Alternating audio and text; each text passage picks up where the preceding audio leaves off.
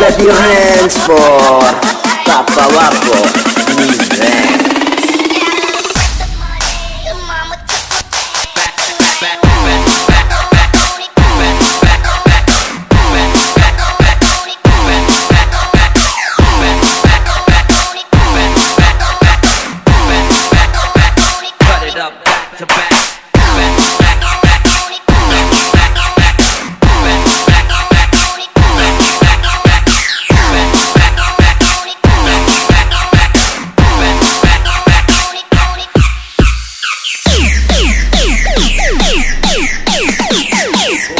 Okay, what's up?